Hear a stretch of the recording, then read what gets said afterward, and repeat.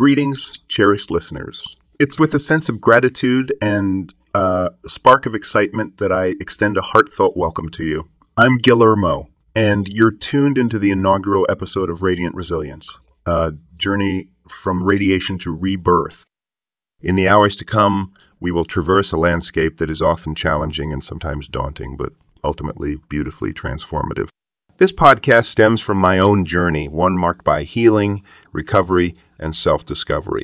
I want to take a moment here to underscore the essence of this journey. The experiences I'll share, the moments of triumph and tribulation, the reflections and insights, they all emanate from a profoundly personal space. It's my journey, but it's also every journey that encounters adversity and seeks to rise from it. Radiant resilience isn't just about my story, though. It's about the human capacity to endure, to adapt, and to grow. It's about fostering an environment where we